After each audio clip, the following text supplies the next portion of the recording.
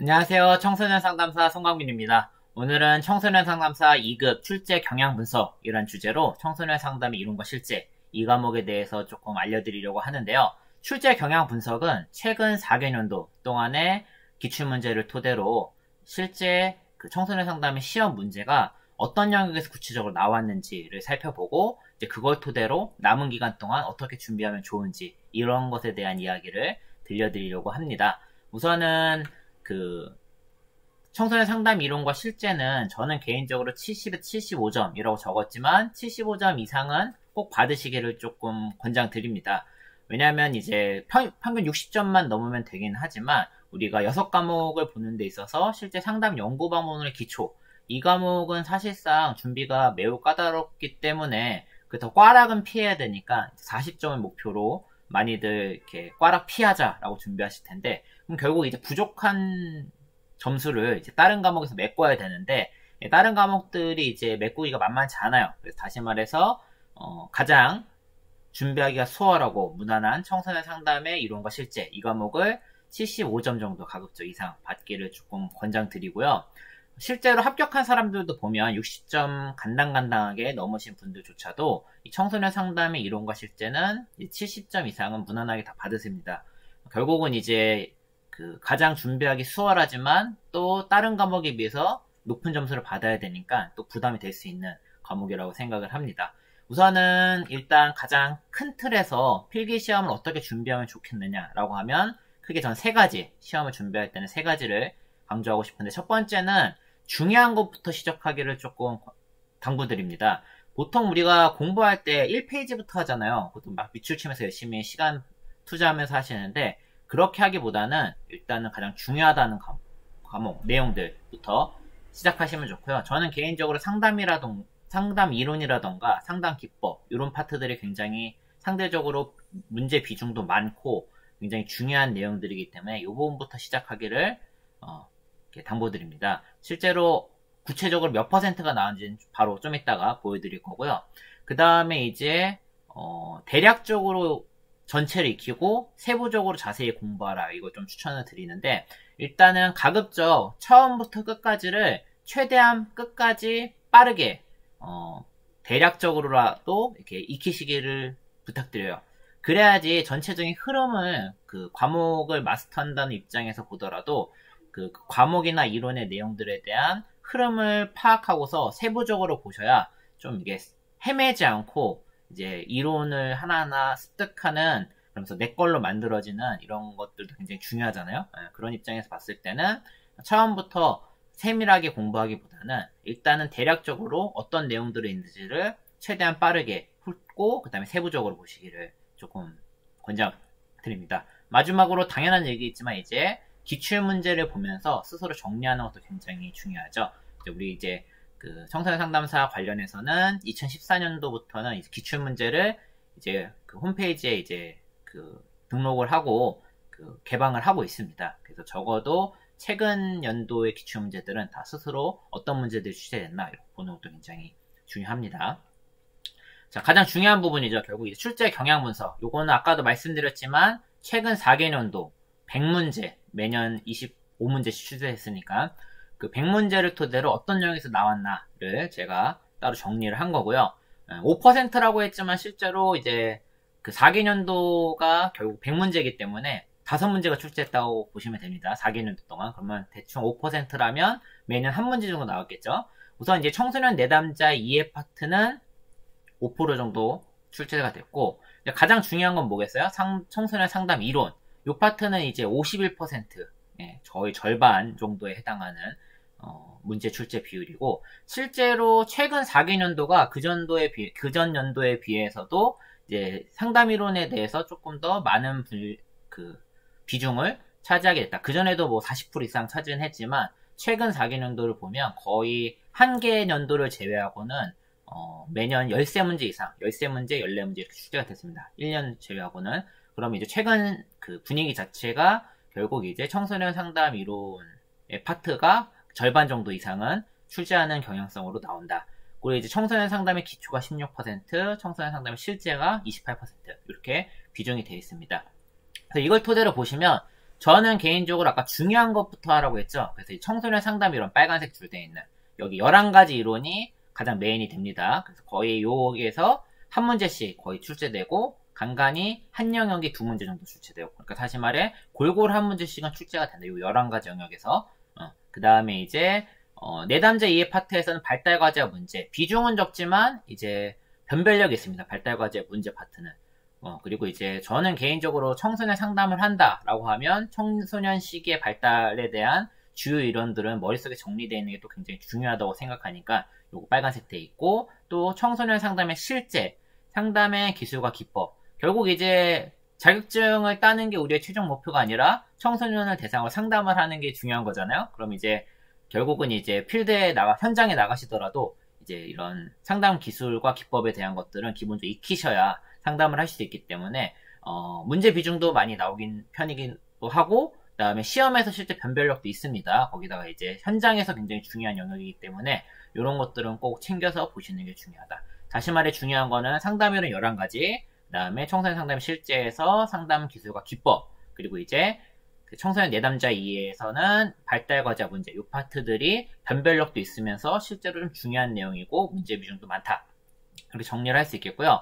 어, 녹색으로 된 부분, 윤리나 상담의 과정, 이런 부분들은 상대적으로 이제 변별력도 있고, 어, 문제 비중도 있지만, 상대적으로는 빨간색 부분보다는 그, 출제 빈도나 이런 것들이 적기 때문에, 저는 개인적으로 기출 문제를 중심으로 거꾸로 정리하면서, 이제 홈, 그 포털 사이트에서 이제 자료를 검색하면 내용도 많이 나와 있잖아요. 그 토대로 공부하시길 바라겠고, 어, 시험이 얼마 안 남은 상황에서는 저는 검은색으로 된 부분은 예, 내담의 특성이나 청소년 문제 이해나 상담자의 자제 및 태도 이런 파트들은 공부를 하지 않으셔도 괜찮다. 왜냐하면 상대적으로 변별력이 좀 약해요. 왜냐하면 그 물론 100% 주는 문제다라고 할 수는 없지만 어 뭔가 이제 그, 그 뭐야 문제를 읽어보면 어 약간 주는 문제 상대적으로 풀기 쉬운 문제, 문제들도 있잖아요. 객관식이다 보니까 어 그렇기 때문에 이런 파트들은 사실 특별히 공부를 하지 않더라도 내가 그 과목 기술을 하면서 배운 지식들도 있고 충분히 어느 정도는 풀수 그, 있지 않을까라고 생각을 합니다.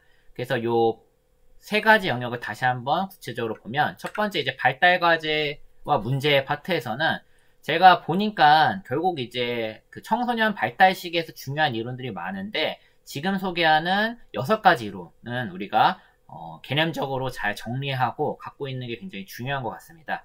피아제의 인지 발달 이론 여기서 이제 형식적 조작기에 해당하겠죠. 그 다음에 에릭슨의 심리 사회적 발달 단계에서는 자아정체감 형성과 역할 음미 뭐 이런 것들.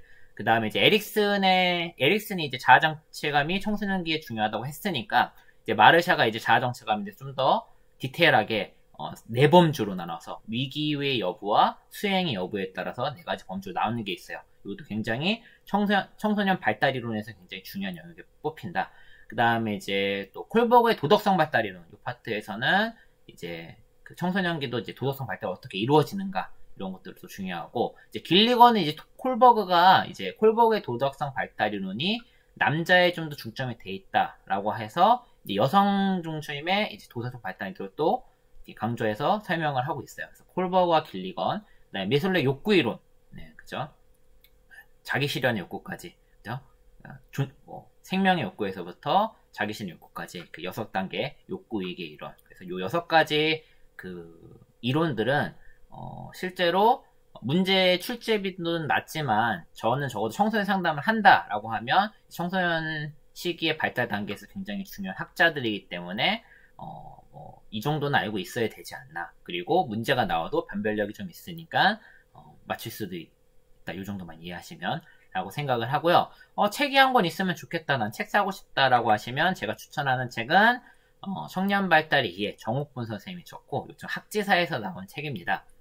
그래서 청소년 상담사 3급 같은 경우는 이제 발달이론 있기 때문에 따로 책을 사시라고 권장을 드리지만 이제 또 청소년 상담사 2급 같은 경우에는 발달이론을 따로 하거나 이렇지는 않지만 그래도 내가 개인적으로 청소년 상담을 하는 입장에서 공부를 하고 싶다라고 하면 이 책을 추천하고 그냥 이번 시험 준비하는데 발달책을 굳이 사야 됩니까? 라고 질문을 하면 저는 안 사줘도 괜찮다. 네, 이렇게 정리를 할게요. 그래서 이 책도 좋고 만약에 책을 안 사면 어떻게 공부하나요? 라고 하면 어, 왜 시, 시중에 나와 있는 뭐랄까 그 정리된 책을 사셔도 괜찮고 저는 개인적으로 정리된 책을 사시기보다는 인터넷이나 이런 데 또 포털을 해서 이제 그 서치를 하시면 또 이런 자료들을 쉽게 구할 수 있기 때문에 굳이 돈 주고 사실 필요까지 있을까라는 생각이 듭니다.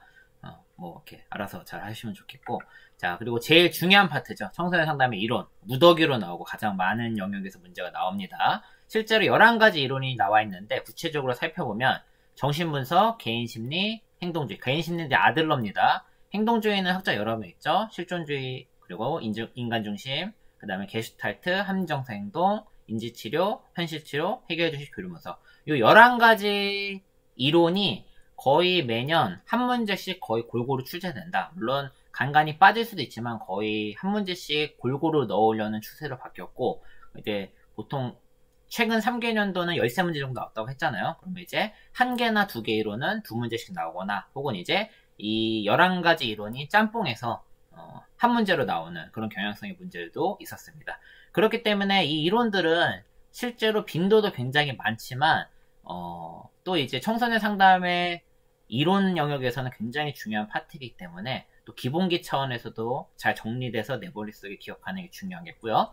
그리고 이제 그 이론별로 공부할 때는 인간관, 주요 개념, 상담 목표 과정, 기법 이네 가지 파트로 나눠서 학자별로 정리해서 어, 내 머릿속에 숙지하시는 게 굉장히 중요하겠다. 하지만 아까도 얘기했지만 어, 우선은 최대한 빠르게 처음부터 끝까지 정리를 하시고 나서 그 다음에 추가적으로 세밀하게 보면서 빠진 내용을 추가로 넣거나 그 다음에 이런 것들은 이제 내가 개념적으로 11가지 이론별로 4가지 인간관부터 상강티프까지는 따로 이렇게 정리해 놓고 어, 시험 전에도 반복해서 보는 이런 것도 좀 굉장히 중요한 것 같습니다. 저는 개인적으로 남이 정리하는 거 보는 거 굉장히 도움이 안 된다고 생각을 하거든요. 기본적으로 기본기업 마스터가 됐다. 어느 정도 내가 학문적인 부분에서 어느 정도 그 청소년 상담에 필요한 이론들을 내 머릿속에 넣었다라고 하면 결국은 이제 남이 정리해 놓은 걸 보는 건 큰 의미가 없어요. 첫 번째로 이제 그 정리하면서 내 걸로 만들어지는 게 굉장히 크고요. 그 다음에 시험 전에 다시 한번 볼 때도 이제 내가 정리하면서 했던 과정들이 같이 연계돼서 머릿속에 기억이 나기 때문에 필기 시험 준비할 때는 굉장히 큽니다. 그래서 반드시 어, 이 또 중요한 영역이니까 아무리 시간이 얼마 안 남으셨다 하더라도 이 상담이론만큼은 내가 정리해서 그거를 뭐 따로 정리한 걸 스스로 보면서 이제 다시 이, 이해하면서 이렇게 준비하시면 좋을 것 같습니다. 책은 네, 혹시 이 책이 없으시면 이 책은 꼭 사시면 좋을 것 같아요. 현대 심리치료와 상담이론 학지사에서 나온 책이고 권성만 선생님이 쓰셨거든요. 이 책은 이제 그 독학으로 어, 상담 초보자들이 공부하기에도 굉장히 수월하게 잘 되어 있는 책입니다. 어, 왜냐면 개괄서의 특징이 일단 기본적으로 그 독학을 하기가 좀 어려운 부분도 있어요. 왜냐면 요약해서 나와 있다 보니까 한 책에 여러 이론이 나와 있다 보니까 그럼에도 불구하고 이 책은 초심자들도 혼자서 독학으로 공부하기 굉장히 잘 돼 있다. 그래서 이 책이 없으시다면 적어도 이제 저는 뭐 시험과 시험에서도 굉장히 중요하지만 시험을 떠나서도 이 책 한 권 정도는 꼭 사시기를 권장드리고 많이 비싸진 않으니까 2만 원까지는 안 하는데 만 얼마 이 정도니까 이 책은 쭉 사시면 좋겠고 이 책은 이제 시험 준비할 때는 보시면 알겠지만 어 뭐 해결 중심이나 교류 분석 파트는 없습니다. 그래서 저는 개인적으로 해결 중심이나 교류 분석이 있는 책을 뭐 별도로 구매하시기보다는 뭐이 파트들은 일단 인터넷 통해서 찾아보시거나 어, 이렇게 하시는 게 낫지 않을까라고 개인적으로 생각을 합니다. 네. 그리고 이제 마지막으로 이제 청소년 상담의 실제 파트에서는 상담의 기술과 기법 이 파트가 어, 비율도 문제 비율도 많고 이 파트가 또 변별력도 큽니다. 실제 어떤 내용들이냐 뭐 질문하기, 구체화 기술이라던가 감정 반영, 재진술, 즉시성, 해석 측면 이런 것들이 나와 있고요. 어, 저는 이거는 그러니까 문제 피, 문제 출제 비율도 많고 변별력도 있지만 또 이제 상담을 실제로 현장에서 하려면 이런 것들은 이제 기본적으로 능수능란하게 구사할 수 있을 만큼 갖춰야 되는 부분이라고 생각을 합니다. 그렇기 때문에 이런 파트들은 어, 굳이 시험이 아니더라도 내가 꼭 갖춰야 될 소양이기 때문에 어, 역시 시간이 아무리 없다 하더라도 요건 이제 내가 숙제에서 어, 능수능란하게 쓸 수 있을 만큼 반복해서 연습하는 게 또 중요하겠죠. 그래서 또 책을 하나 추천해 드리자면 또 이제 상담 기법 연습. 예. 요즘은 뭐 워낙 시중에 좋은 책들이 많이 나와 있는데 어, 두께가 가볍고 어, 뭐 반복해서 연습하기도 좀 수월합니다. 그래서 거기다 직접 쓰면서 하는 건데 써서 하지 마시고 처음엔 이제 답을 봐가면서 정답을 찾아가면서 한 번씩 말해보는 연습을 하고 그 다음부터는 문장을 보고 바로 말해보는 이런 식으로 반복해서 보시면서 어, 이런 것들을 조금 자유롭게 구사할 수 있을 만큼 내 것으로 만드는 게 중요합니다. 그래서 이 책도 꼭 사시기를. 그래서 저는 개인적으로 이제 아까 얘기했던 권성만 선생님 책이나 상당 기본 연습, 어, 둘 다 학제사 책이네요. 자, 이런 책들은 꼭 사셔서 어, 꼭 시험을 보든 안 보든 어, 시험을 본다면 당연히 또 챙기셔야겠지만 또 시험에 얼마 안 남았고 시간이 아니 부족하다라도 하시더라도 어, 두고두고 굉장히 쓸만한 유용한 책이기 때문에 없으시면 꼭 사시기를 추천드립니다. 어, 저는 어느 책과도 저와 이해관계가 없습니다. 그렇기 때문에 그냥 그 여러분들이 자, 시험도 준비하고 또 이제 상담에 대한 기본기도 잘 쌓으시라는 입장에서 알려드리는 거니까 꼭 사시면 좋겠고요.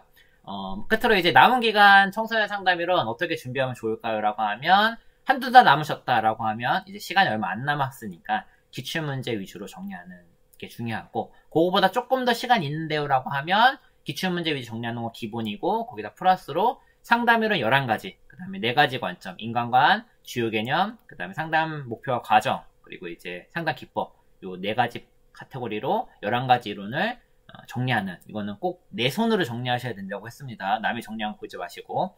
그 다음에 거기서 조금 더 여유가 있다. 그럼 당연히 상담 기법 연습, 이 책도 한두 장 정도면 반복해서 보면서 마스터할 수 있기 때문에 이 책도 좀 이렇게 사셔서 같이 보시면 좋을 것 같습니다. 그래서 어, 아마 오늘 내용 충분히 제가 그 굉장히 공을 들여서 준비했기 때문에 어, 분명히 어, 많은 도움이 되시리라 확신을 하고요.